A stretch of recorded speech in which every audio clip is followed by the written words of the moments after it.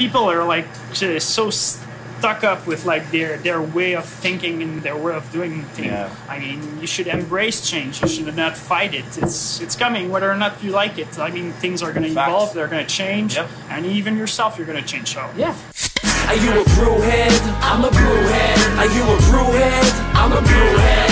Y'all are brewheads? Yeah, we brewheads. So pour a glass of craft beer, we can do this. Yeah.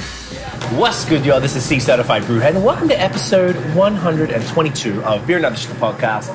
This afternoon's glorious snowy day in Montreal. We are here at Expérience Bière in uh, Montreal with Fabrice, owner of L'Appât du Grain. My man, Team Lactose. How you doing? Team the lactose. Oh, it's going to be an interesting one. Uh, we've been meaning to do this for a while. I got Yeah. a bit sick over Christmas Yeah. just beforehand, so I apologize. I bailed on you, No problem. but I was dying. It was pretty bad. That's the lactose. I mean, potentially. Could have just all caught up with me. Um, yeah, so Expérience Bière, uh, shouts to Olivier for letting us use the space today. Yeah. This place is really nice, man. Um, really cool store. We're on Amherst, sort of in, the, it's kind of like, I guess, it's the village area. Yeah, I guess Um, so. Uh, I guess it It's is. probably what you call it. Um, I haven't, we used to live kind of near here a while ago, um, but I never came to this place before. It's very cool. Uh, it's, it's only been open for uh, like two years, I guess. Okay, so so it's been new. that's possible. Yeah, That it's quite new. Yeah. yeah. Okay, I like it. And they've been supporters of you, like they've been stuck in your stuff. Yeah, stuff. first day I uh, when they uh, did the uh, the opening, I was here with my beer uh, doing some some sampling and uh, Oh, nice. selling it. So yeah, Right. Yeah. So it's perfect. This is like what better place yeah, it's to a, do a podcast. uh, it's a good place to do a podcast because, uh, as you might know, I'm a contract brewery, so I don't have a pub or anything to uh, Yet. to yet. Yeah, I don't, yeah, I don't have a, a place to uh, to show up to, but I mean. This is where my beer is in the stores, and I thought it was a natural fit to do a podcast here Yeah. in the stores that uh, support me. I don't. re- I can't even think of another place. I don't think we've ever done a podcast, a full length podcast from a, a store, from memory. It's- I don't think so. So that's very fun. Um, also, just in case people are hearing or watching and seeing folks walking through and fridge noises. So this is an operating uh, beer depot here in Montreal. So like, there's going to be customers coming in, maybe walking past the camera. So if you see that, that's what's up with that. But we're bringing you exactly what it's like Yeah, to be here. So the beer we have in our gorgeous glass right now is a very interesting beer. It's your actual your latest beer. yeah, it's my latest. Tell us about this one, brother. Yeah, so uh, this was uh, some kind of uh, experiment I wanted to uh, play with. So it's a blend of three styles, uh, two that are contradictory and two that are like complementary. So I wanted to play like really with a contradiction and something that was more complementary. So uh, first, the contradictory part of it would be like it's a brut NEIPA, so that's kind of counterintuitive because uh, NEIPA you have the, really a mouthful of uh, the texture is really a mouthful, and the brut is, is more like the dryness. Super dry. Super yeah, chill, super yeah. dry, super uh, refreshing. So I really wanted to push it to the extreme and see how much the the oats and the rye and the um, oats, rye, and wheat could Yeah. uh, still bring a mouthfeel, but without the sugar, like well, with it being bone dry. So that's what I wanted to experiment with, and uh, uh, really, I think it's a success because you uh, you have that mouth feel, but you still have the dryness. So it's really cool. It's I really like, like how it turned out, and the the NEIPA Kveik part is really complementary because Gvike produce a ton of fruity esters, so you get a really, really, really, really fruity beers. And I chose some fruity hops to go alongside, so to accentuate the fruity side. What are the hops in this one? Uh, there's definitely some Simcoe. I Yep. think there's a little bit of uh, Citra. Uh, on top of my head, there would be some Amarillo and Centennial as well. Right. It's totally fruity. Well, cheers. Get in Cheers. here.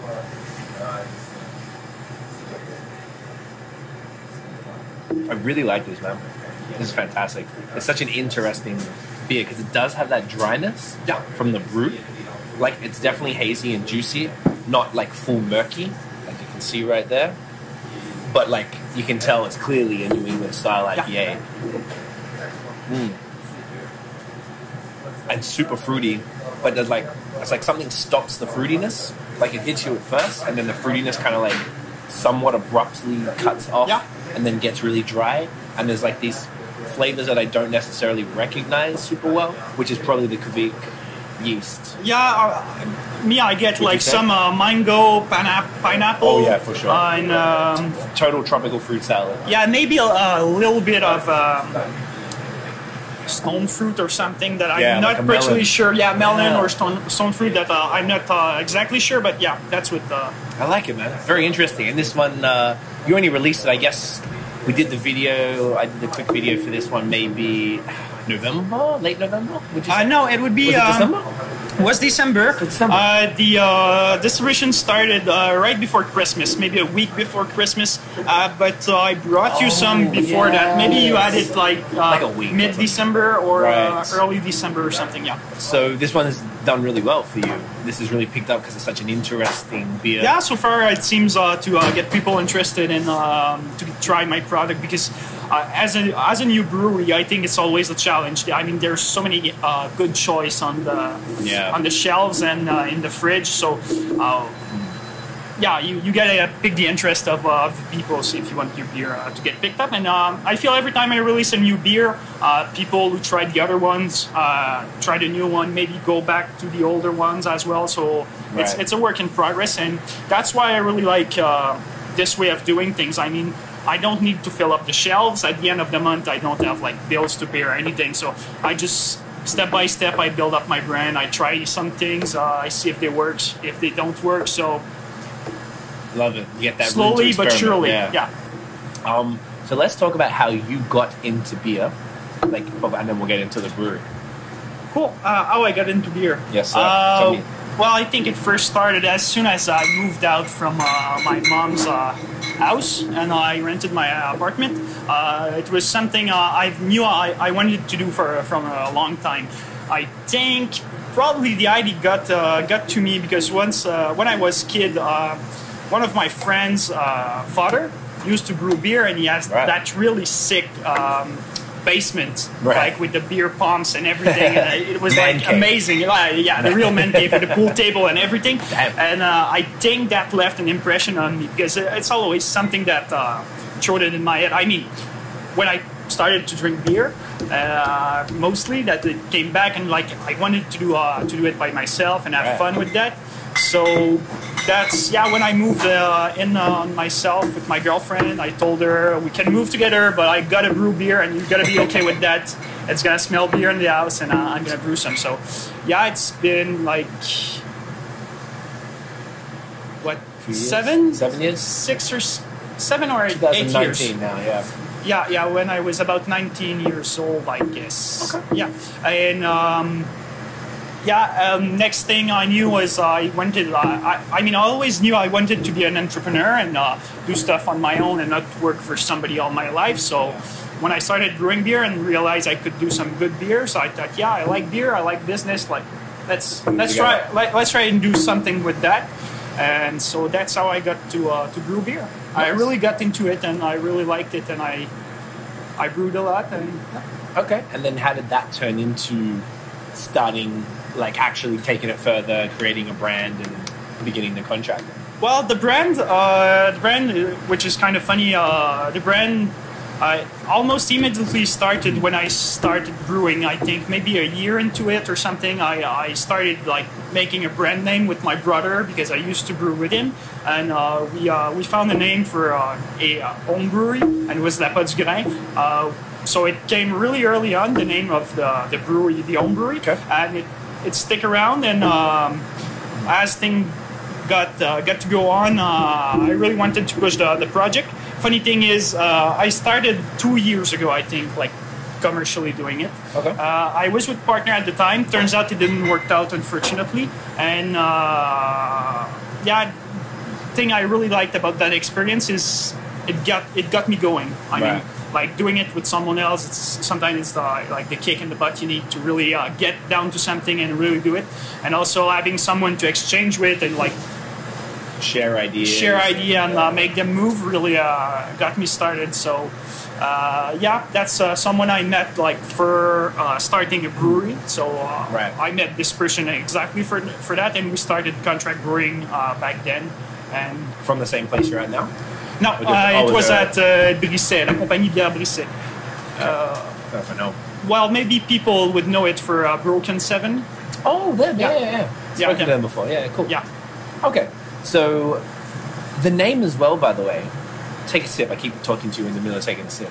I, I every time I search for it on Instagram, like, I, I think it's like play on words, right? It's a French saying that that Yeah. du gain or something. La pas du gain, yeah. What with- does that mean? like uh, it does not really translate well, but it would be uh, like the lure of the greed, if you will, like doing something for uh, for your own gains, if you will, or Right. uh, like yeah. Okay, So so then the grain's like the lure of the grain. yeah, The, instead of uh, yeah, just just uh, I just changed the word because it was almost the same. Always been meaning to ask you that. Okay, Yeah. sick. So then, um, now, right now, you're contracting out of uh, Brasserie Generale in. Quebec City, which is three hours each way. It's quite a significant uh, drive to do that. So, how did that get started? Well, as many things in uh, the beautiful world of uh, Maybe I think if we hit this, it's gonna. Uh, Oh, yeah, sure. Yeah, sorry. It might make a noise. like uh, many great things in the, the beer industry. It all started in a beer festival. Okay, of course. Over Uh, some beers, of course. Yeah, so I went there and uh, they were uh, they had like their their booth over there, and I started talking with them. It was uh, right beside my home at the time, so like I went there all the weekend and uh, spoke with the guys. And uh, at this time, I was looking for another place to uh, produce my beers, so I asked them, and um, they were willing to do it. So Nice. I didn't even know it was super far. It made sense. It made sense because it's uh, it's not as easy as uh, some uh, would like to think. I mean, contract brewing, you have to find someone that will brew your beers to your standards, Yes. uh, that will have uh, some capacity production for you. Okay. I mean, uh, if they don't have it, if, if they can produce your beers, then you don't have anything to sell. So, and finding it at a fair price is also uh, one of the main concern you have to deal with. Yeah, I hear some stories. I've, I've read some stuff recently that uh, I forgot who it was, and they were saying that the brewery that they that's doing it for them was like, like damn near doubling the price of per liter. I can't remember. It was somewhere in the states, I think, and it was essentially going to put them out of business. Like, because the contract brewery. You mean uh, a small brewery or a big one? so like the the big brewery that's contracted. That's Pabst, isn't it? That's Pabst. Thank you. And they were, and that's a huge thing. Yeah. Because Pabst don't even have their own stuff, which is also kind of weird. I guess it's just a brand that. Yeah, I, I really never knew that until the, that article Yeah. came up. Yeah, I really thought it was like uh, Like they had their own, it was its Yeah. actual brewery. Like a Rickard's is just a brand. They don't have a brewery. It's brewed out of whatever Molson or Labatt or whoever owns it. yeah, but it, I think it's owned by most. It's owned by Molson, but they don't have a Rickard's brewery. Yeah, it's just no, a, yeah. just like I guess I think maybe Blue Moon or Shock Top would come under that. They're Yeah. a brand that is owned by a macro brewery and that's just brewed out of somewhere. Now it's not necessarily a bad thing, but for someone like Pabst, I had really thought they would have had their own facility, and for them to be that large and then held like at gunpoint by the big brewery Yeah. to be like, well, you're going to pay. Uh, do you know what? Now I think it was like tr- triple, maybe it was something like exorbitant yeah, crazy numbers to the Yeah. point where it would like I think triple now. I'm picturing the article. Like that's crazy. So I mean that is a big concern for contract brewers. You're trying to build a brand. You're trying to make a consistent product that is in line with what you, the small batch that you brew, and you're like, this is what the beer is supposed to be. You got to scale it up. You got to trust them to do it, and then you got to trust them to not all of a sudden be like, you know what, we're tripling the price. It's Yeah. stressful, Well, it's stressful, but I mean, but I guess not that bad. it's not that bad. Once you got at the end of terms. at the end of the month, if uh, if I my, my if my beer don't sell, I don't get wrecked, and they uh, they won't come over and take over my house. I mean, I don't have like super huge. Uh, I don't have any. Uh, I don't owe any money to uh, nobody. I mean, Right, right. So yeah, but yeah, position. it's always uh, hard to project yourself and say, yeah, well, yeah, next year I'm gonna do that many liters and everything because if the brewery that brews your beer start experiencing some growth, maybe they won't have as much uh, time or um, to spend Like on your space beers it. and space for it. Yeah. Do you have a plan B if that happens? Well, if it would ever to be to happen, I guess I would. Uh, I really like working with these guys, so I guess I would try to find a way to optimize uh, thing over there. Maybe Right. buying some new equipment or anything like to really get get continue doing it uh, with them because I really uh, really like doing it over there. Uh, but if uh, if if I don't have any other choices, uh, I guess I would uh, try and find some other place to brew. Yeah. Right. I mean, there's a, I don't know why it just came into my head now, like a, a cooperative like MaBrasserie where you do purchase your own equipment and then it's sort of like your stuff that's in that brewery? Or is Yeah. that too not doesn't suit what you need? it, it might have been possible, but um, I I think they're starting to change that. But once uh, once I uh, first time I approached them would be like uh, start of 2018. Okay. Um, they wouldn't do it because I uh, I didn't own a pub or something. So their point was we, Oh, we would to- we would do it for someone who owns a pub or uh, has a bar or anything. Uh, but since I was only uh, like a Brasseritzne, how would you say that? A contract brewery. Yeah. Yeah, yeah, Since yeah. I was only a contract brewery and I didn't have a place, uh, they wouldn't do it back then. Uh, I think I, I spoke with some people and they told me it might have changed since, since then. But yeah, that's one of the reasons I uh, I didn't go to uh, For, Navas. for now. Yeah. But if they do change, that could be an option. That type of situation, not necessarily them, but that situation. Yeah, I mean, yeah, there, there's plenty of there's some options. You have uh, you have to look uh, look for the uh, these options, and I mean, once you're already in it, I think it's easier to find some place to brew your beers Right. because once I once I when I You've got first things- did it, Yeah. It's Like- hard.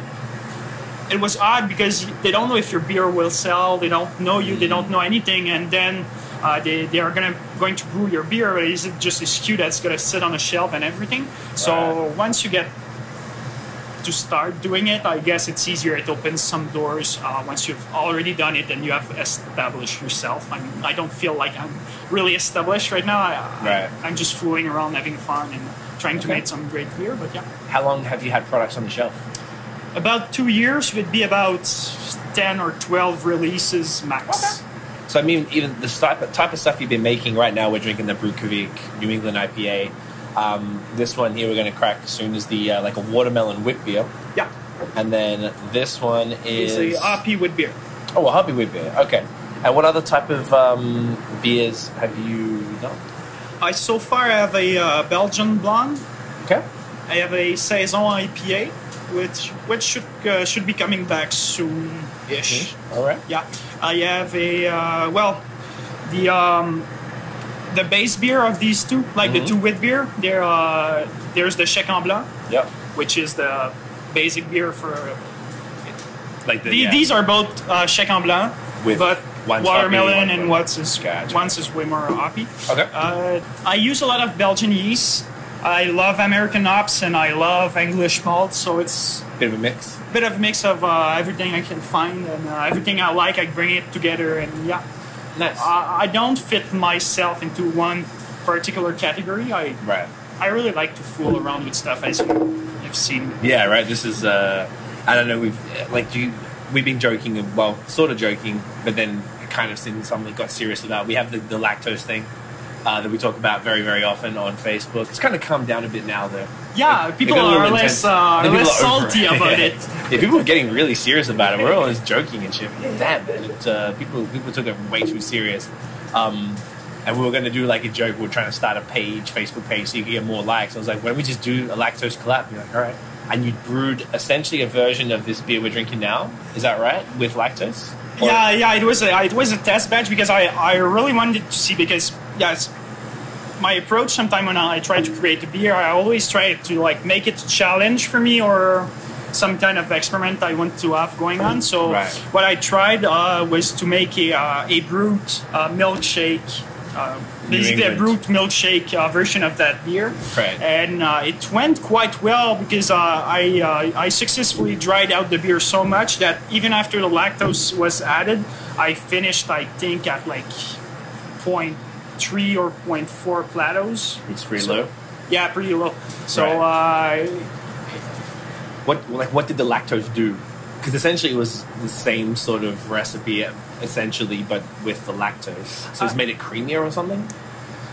it's really weird because it was still really really dry, but the only sugar left was was like the, the lactose sugar. Right. Uh, I couldn't really tell you what exactly it did because uh, I'm intolerant to lactose, so I don't pick like lactose beer out of the shelf. You actually are, right? I wasn't sure if you were joking No. I'm actually lactose intolerant. So if if I drink a lactose beer, I'm gonna have like some stomach ache and yeah, yeah. Well, sorry to sorry to uh, make you do that, and then hopefully No didn't problem. make you upset. Make No, no, no, upset. no, it's cool. Okay. Are we? Are you genuinely, seriously considering doing that beer for real? Well, I mean, if I can get it to, um, if I if I can make a recipe I'm proud of, of course I'll do it, because because there's no convention about how you should brew beer or No. anything. I mean, if they are, fuck them. Yeah, pretty much. Speaking of fuck them, I, people really started getting mad about this beer. The one Yeah, that happened it's now. really Like funny. you, you were sort of aware of that. I feel like you're a shit stirrer online, which is funny. Like as in, like you purposely provoke people, and I find that hilarious. Yeah, but I, I, that that was uh, th- I guess that was the purpose of the beer. Like, Because people are like, how can you? How can this even be a thing? Like, yeah, but then when they get down to it, what's their experience? What what have I managed to do with that? And like,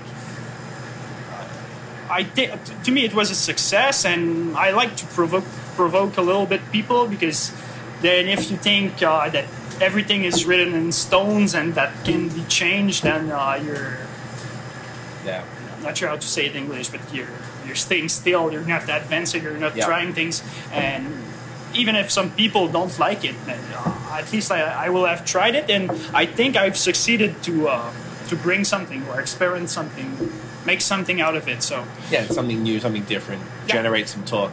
I was talking with um, with a few of the guys, like Noah, Noah from Beerism, a few of the boys we talked to about this the other day, and it was something that like someone was.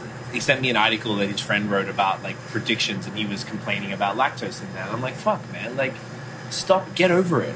Like they're just saying, oh, I wish breweries would stop. Like, how far can it go until beer is not beer anymore? And I'm like, shut up, just stop it, stop this. Like, it makes me really angry that people um, take it way too serious. Like, you know what?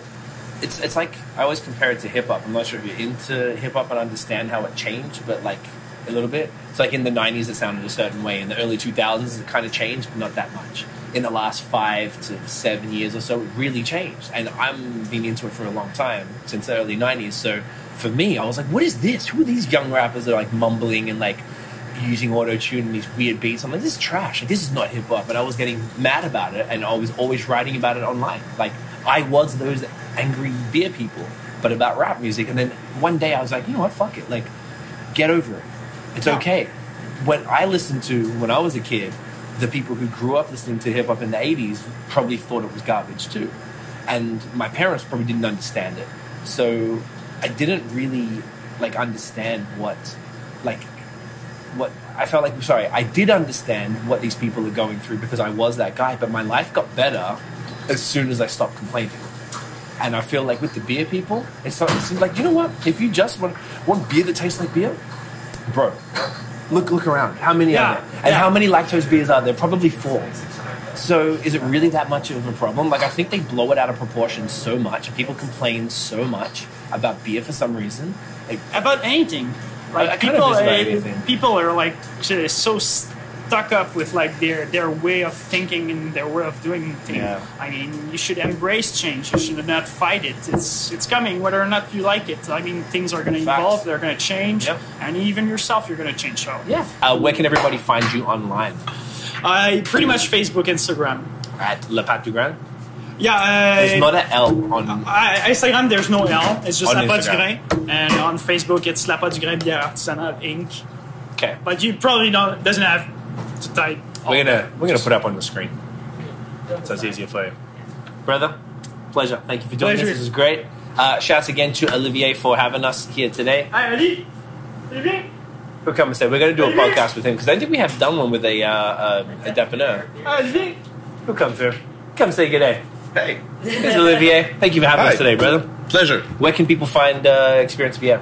Online and uh, in Uh, real life. Yeah, in real life on Amherst, Amherst uh, in Montreal, Yeah. uh, 1751. 1751. This is uh, Maisonneuve? Uh, um, No, it's uh, not. Amherst. It's not Maisonneuve. No, what's well, what's the cross transfer, street? it's Robin. Robert. okay. Yeah, but it's in between Maisonneuve and Ontario. Perfect. And uh, we're on Facebook and we try to be on Instagram. We'll try. it's important. So come check them out. They got like a ton of beer here. It's uh, fantastic. Everything you're gonna want. Everything. Thank you for having us, brother. Appreciate that. Pleasure. Thank you so much. Guys, if you enjoyed the episode, mate, smash the thumbs up, hit subscribe below, hit the notification bell so you know when the new new drop. Follow us on social media at BAOS Podcast and check out the long form audio so you can hear very attractive bearded gentlemen like Uncle Fabrice here, who's hashtag Team Lactose. Uh, Team talk about no rap- lactose. Okay, fair enough. Talk about beer. Um, Spotify, Apple Podcasts, all that. That's it, guys. Thanks for watching. See you in the next episode. Cheers.